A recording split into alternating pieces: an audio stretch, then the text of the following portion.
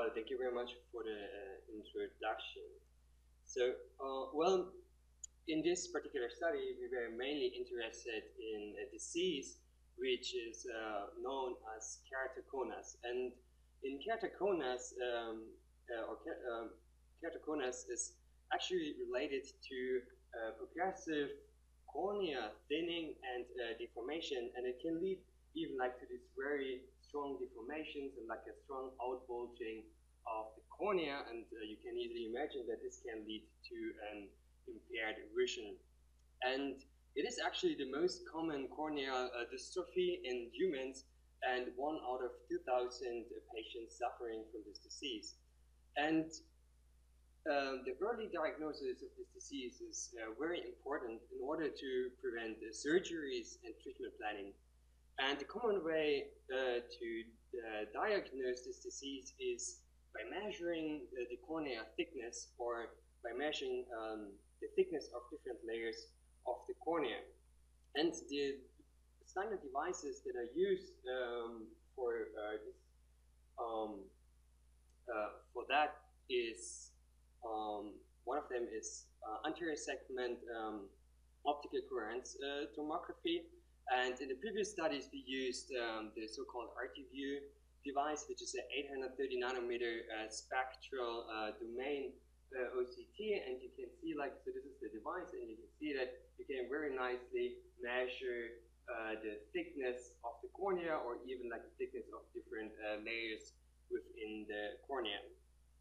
Well, and uh, another approach that is used in order to measure uh, the thickness of the cornea or different layers is high frequency ultrasound. And in our previous studies, we used the so-called uh, Artemis ultrasound device.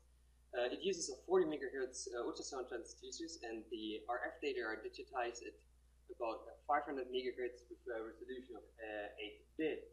And the specialty of this device is it uses some sort of like a arc scan in order to maintain the uh, normality of the incidence of the ultrasound uh, beam and uh, also to uh, maintain a constant uh, distance between uh, the cornea and the ultrasound transducer.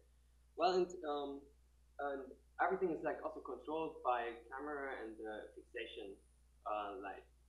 Well, and by just conducting several of these arc scans, you can, like you see, you can measure the thickness from these measurements, and then you can derive even two-dimensional maps uh, of the distribution of the cornea or of uh, uh different layers. So in this um, previous studies of about 200 patients, uh, we measured the thickness of the epithelium, which is the first layer on top of the uh, cornea. I'm going to explain this a little bit more in the next slide. Well, these uh, maps show like these two-dimensional maps of uh, the epithelium thickness, and you can very nicely see that it is um, very highly correlated with um, the, the, severity grade of uh, keratoconus uh, with very thin uh, epithelium uh, for the very high grades of keratoconus. However, as I already like mentioned, the cornea is uh, has to be considered as a layered uh, structure consisting of uh, the epithelium, uh, like a Bowman's layer, and um, the largest uh, layer is uh, the so-called stroma, and then the back we have also the Descemet's membrane and endothelium. Well, and these different layers actually consist of different structures and materials.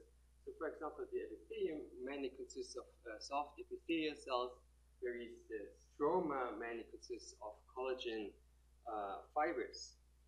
So, but in order to measure the thickness uh, using ultrasound, um, of course, we need the speed of sound.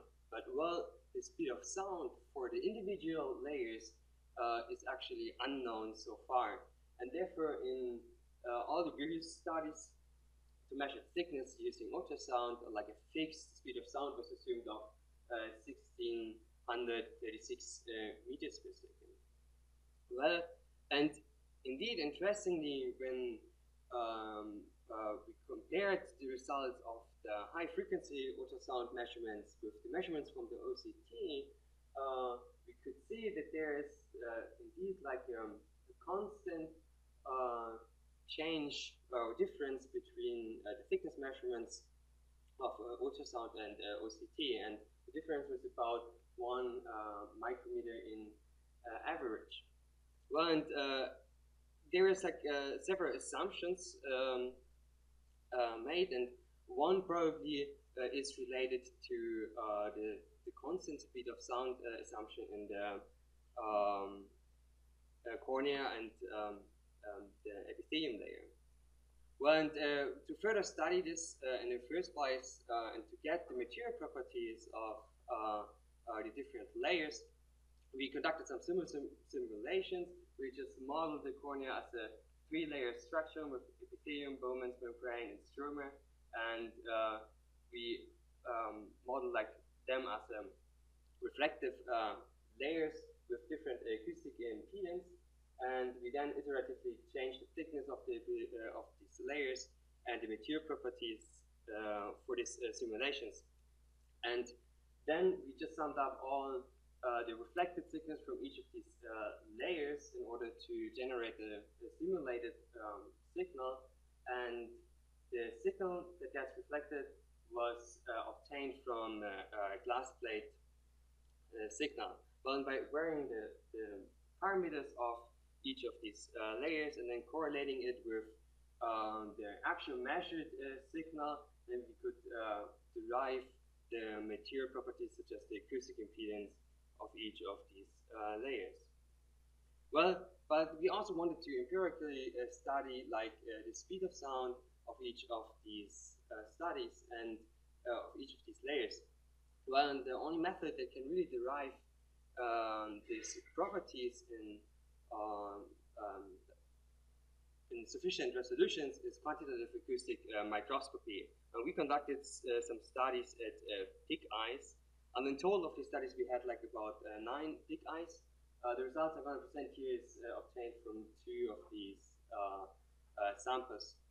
And um, the pig eyes were embedded in uh, OCT and then snap frozen, and we took cryo sections of these eyes with thicknesses of about 12 micrometers. And the, the, sections were directly taken at the central axis of the eyes. And before we uh, measured the corneas, um, we put them in uh, saline in order to guarantee um, that they rehydrate. Well, this is the acoustic microscope system uh, that we use. There are going to be like a couple of talks this afternoon explaining it a little bit more in detail.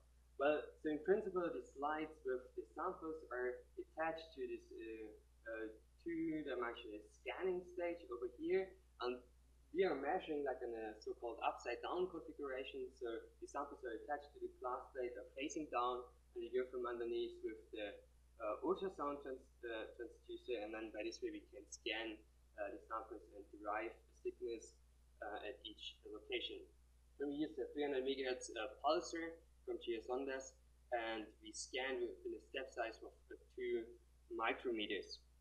Well, and uh, we digitize the signals with 12-bit resolution at 2.5 gigahertz sampling frequency. Well, and this is a ultrasound uh, transducer provided by the Fraunhofer Institute uh, in Germany. And it's a 250 megahertz single element uh, transducer with a, a sapphire lens, providing a very large bandwidth, which is important in order to measure the speed of sound in these uh, signals. And it's also like a very highly focused uh, ultrasound transducer, so the beam width at the focus position is about uh, 7 micrometer, uh, which gives like the, the lateral resolution of uh, the device. However, it has a large, relatively large uh, depth of field, which allows us to measure the relatively thick sections of 12 microns with fairly high resolutions. And this is just oh, the, the glass plate uh, signal signal